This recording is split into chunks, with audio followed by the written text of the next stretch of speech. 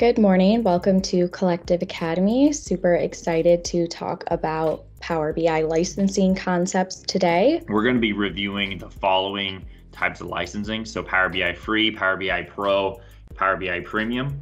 So the three um, types of premium SKUs we're going to be talking about are the P SKUs, the EM SKUs, and then um, the semi-new Power BI Premium per user, which just came out this year.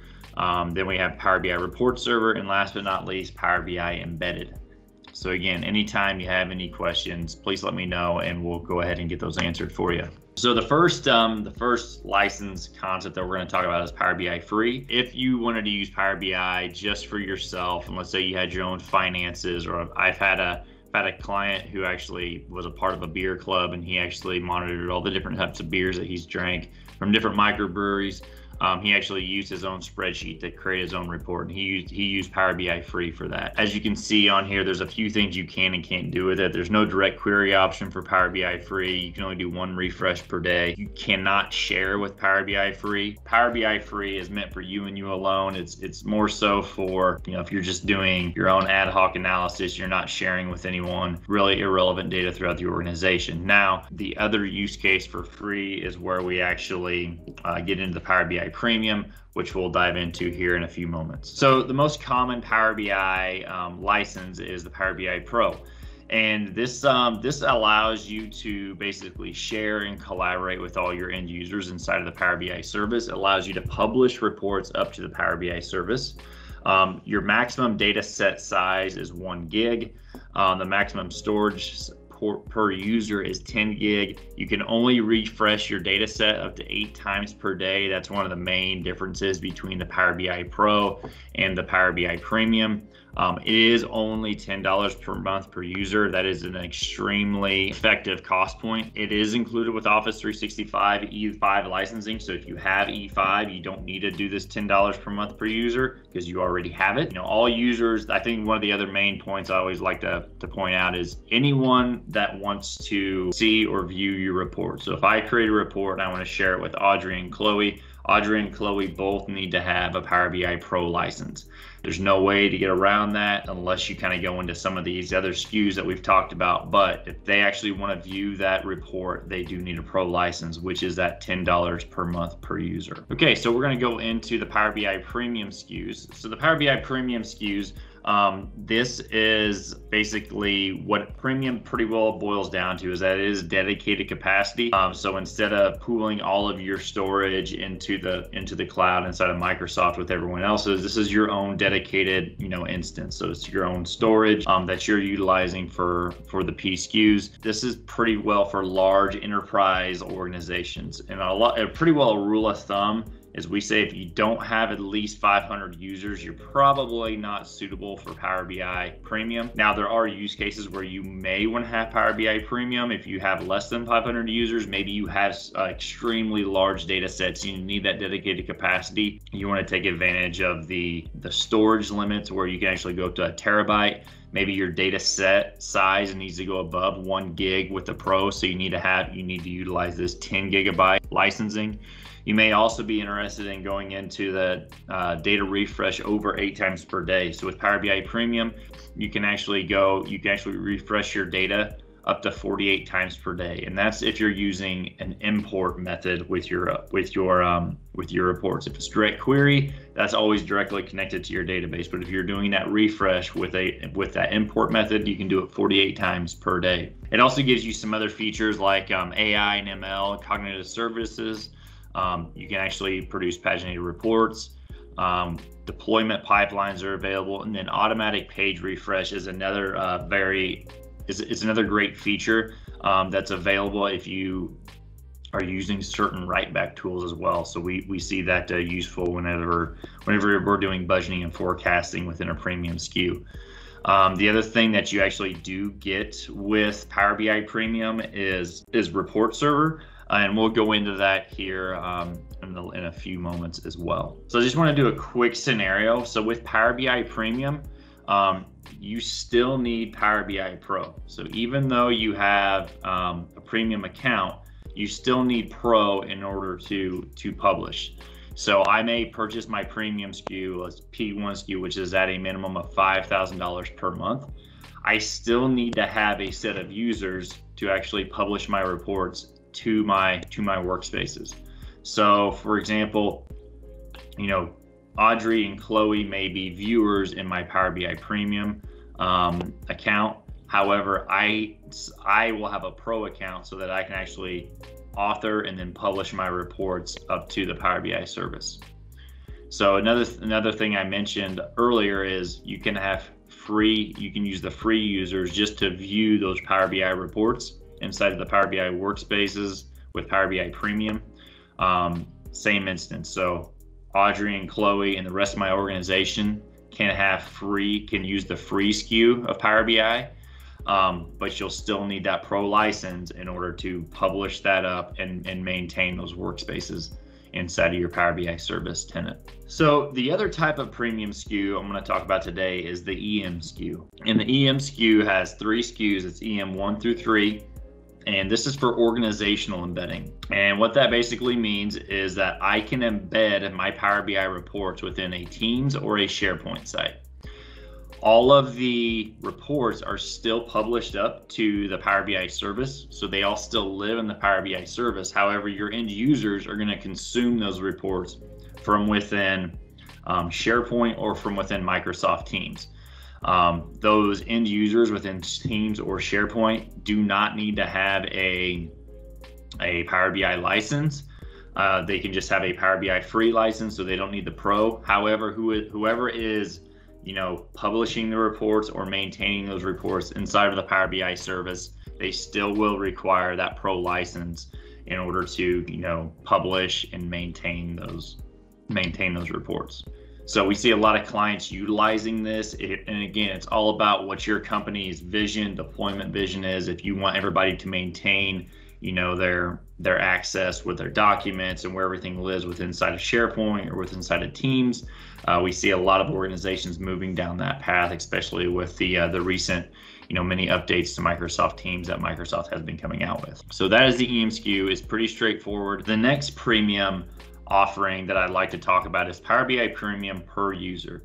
And this is relatively new. This is actually $20 per month per user. In order to um, access the workspace that has been assigned to a premium per user, um, as a premium per user workspace, you do need to have a user license for that to happen. So the one, the main thing to know about Power BI Premium per user is in order to access content published in the premium per user workspace, you need a premium per user license, which is $20 per month. So if we want to look at some quick comparisons between the, the per capacity as per as the per user, here are the main differences. So basically, here's what you don't get with per user, and here's what you get with the per capacity. At the end of the day, you're still getting all of the main features of you know a premium. So you still get the XMLA endpoint connectivity, you get the AI capabilities, um, the the paginated reports, the refresh, um, the deployment pipelines. But some of the things you don't get are the um, you don't get Power BI report on premises, which is uh, which is report server. Um, you don't have that, you know, that actual dedicated capacity on the per capacity limits. So there's a few di- differences there. Um, but end of the day, you do get a lot of the same capabilities as what as what the premium capacity licensing is. Um, few things that, like I like I had already mentioned, is more focused on the sharing content. So who can see what. So this table really pretty well breaks down what your end users can see and what they cannot see. Um, so again, if you have a pro, can you see the premium per user? No. Premium per user can basically access everything, and then the premium per capacity users, no named licenses is the only. Basically, if you have a free version, um, you can only have access if you have the premium per capacity. So the other type of premium um, offering is what we would call Power BI report server. So this is included with Power BI Premium. So if you're paying the $5,000 per month on the, one of the P SKUs, um, P1 through P5, you do have this does come with it. This does come with um, that that premium offering. It can be purchased separately. So we do have some clients that you know they do have um, very important and critical information that cannot leave on premise. So in that instance, they have purchased Power BI Report Server um, through something called SQL Server Software Assurance and that's with SQL Server Enterprise Edition. So you need to have SQL Server Enterprise Edition, and then SQL, and then you would purchase software assurance with that, and that is approximately forty thousand dollars, and it expires after two years. So after every every two years, you would have to re-up that um, that, that that purchase for software assurance.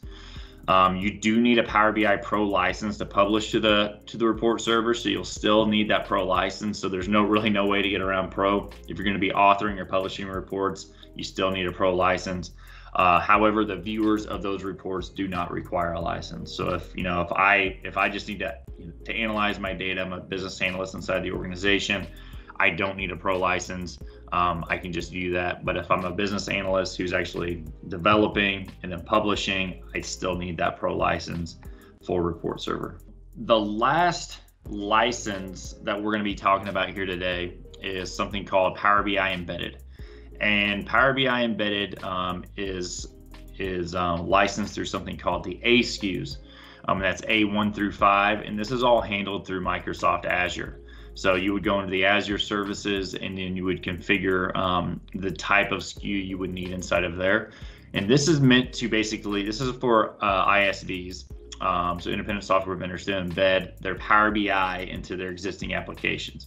So we see this uh, with some of our clients that we've that we work with um, that want to come up with an analytics software offering for their end users um, within within an existing uh, software that they have, or we we've actually engaged with some others that that feel like, hey, they specialize in a certain industry and they want to actually provide reporting as a service to their to their end users. So what they'll do is they'll take Power BI and they'll embed that inside of their web application, and they more or less are white labeling Power BI. So they're using Power BI as their analytics solution and Power BI Embedded provides them that capability. We also see um, other organizations using Power BI Embedded to, you know, deploy their reports throughout the organization as well. So there may be a web application built, and they want to actually use that to deploy their reports. That's perfectly fine. Um, there's just a few different. I mean, it's really depending upon what type of solution you're trying to architect. Um, it usually involves Azure Analysis Services, or it can um, or it usually involves some variation of Power BI Premium to uh, basically create a unified data model that can be that can be utilized across um, all end users that are accessing that um, the Power BI reporting. A little bit more complicated architecture, but at the end of the day, um, it is it can be a very viable solutions for for um, organizations that are wanting to provide analytics for their end users. And uh, last but not least, um, the one thing that everybody's always concerned about or has questions about is, is the licensing. So this um, this is just a quick licensing table that uh, you could utilize to actually just see, you know, what is the actual cost? What am I getting with that cost for all of my different premium licensing? The uh, the Pro is straightforward, ten dollars per month for user. Free is obviously free, um, and then the premium per user is $20 per month per user as we mentioned but this is this table pretty well breaks down the estimated price for um, all the premium capacity SKUs from EM all the way down to your um, your P your A's. What's the biggest advantage to upgrade Pro to premium per user? Really, it depends upon what you're looking for. Essentially, you're getting all of the features of premium. So if you're looking for AI capabilities, paginated reporting, larger refreshes, you know, a larger model size. If you're looking for deployment pipelines, you get all of these things with that. Uh, those are some of the main features I see that are important. It really depends what your organization is looking to um, to utilize from that. The Power BI licensing that we that we reviewed today was all the way Power BI free down to the Power BI embedded SKU. So um, if you have any questions, feel free to reach out to us um, through our website. Always, um, always happy to have everybody on here. Always happy to engage with with you and help help you out.